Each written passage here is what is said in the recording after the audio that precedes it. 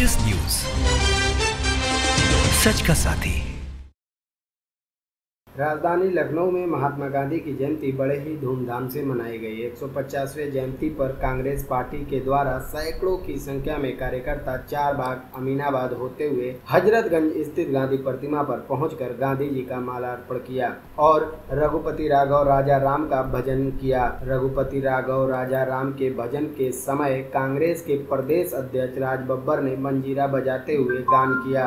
गांधी जयंती के अवसर पर कांग्रेस कार्यकर्ताओं में काफ़ी उत्साह नज़र आई। लखनऊ से देवराज सिंह की स्पेशल रिपोर्ट। हमारे राष्ट्रीय माइक लगाओ माइक लगाओ।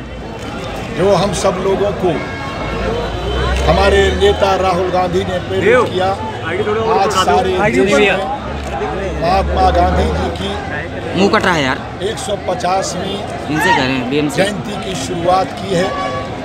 आज हम सब लोगों ने उत्तर प्रदेश के साथियों ने उन तमाम स्थानों पर गए हैं हर ज़िले में गए हैं हर शहर में गए हैं हर गाँव में गए हैं और हमने उन जगहों पर महात्मा गांधी का स्मरण किया है और ख़ासकर उन जगहों पर जहाँ पर बापू ने पदार्पण किया।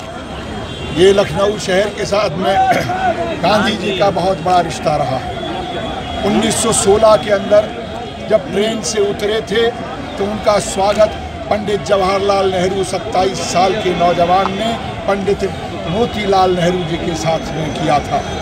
और उसके बाद वो इकतीसवें कांग्रेस के अधिवेशन में शरीक होने के लिए गए। ये वो प्रदेश है, ये वो लखनऊ है कि जिसकी सरजमी पर जो है महात्मा गांधी जी ने हमेशा कुछ ना कुछ नया दिया, महिलाओं को आवाहन किया, इसी उत्तर प्रदेश लखनऊ के अंदर, इसी उत्तर प्रदेश के अंदर अमी अमीनुद्दौला पार्क में जिसको आज झंडे वाला पार्क कहते हैं वहाँ पर महात्मा गांधी ने वहाँ पर ये आवाहन किया और विदेशी कपड़ों को आ, आग में डाला गया।